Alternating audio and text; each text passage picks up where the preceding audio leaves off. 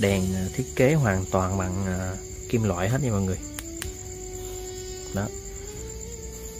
Những cái dòng đèn mà em review đa số là làm bằng ờ, kim loại hết nha. Đây là cái mức sáng cao nhất nha mọi người. Đó. Khi mình bấm thì đây, giảm sáng từ từ nha mọi người. Đó, ba nước sáng. Có ba nước sáng và hai chế độ nha mọi người. Ba nước sáng và hai chế độ.